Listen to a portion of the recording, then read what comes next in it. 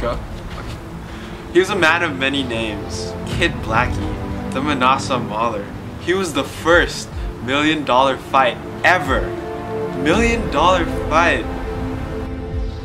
Just when I think about that guy, it gets. Ugh. As Dempsey's popularity grew, the amount of followers he had just expanded exponentially.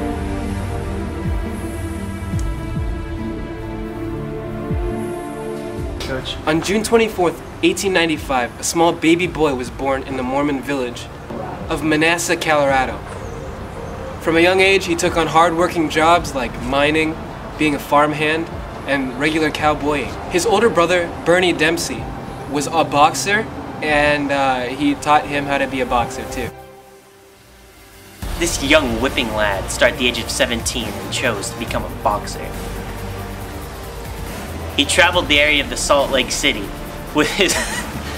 Stop! Alright. He started his debut match against One Punch Hancock.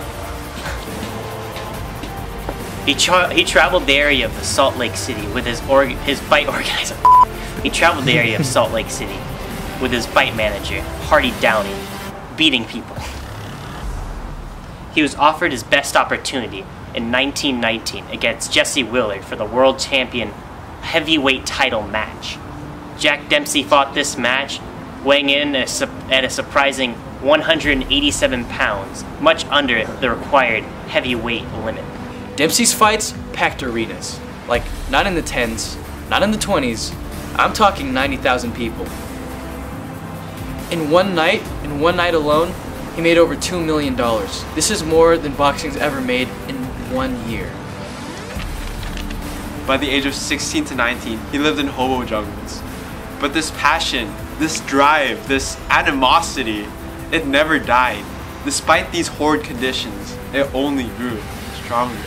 He is gonna be remembered for centuries and centuries on end.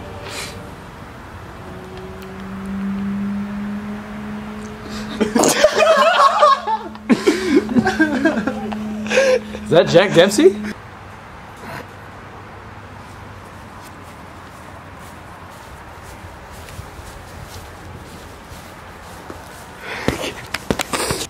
Stop him, boy. Wait, no. Stop him, boy.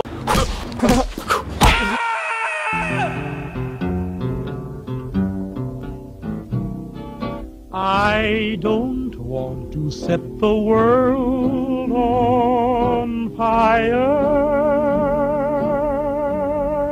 I just want to start a flame in your heart. In my heart, I have but one.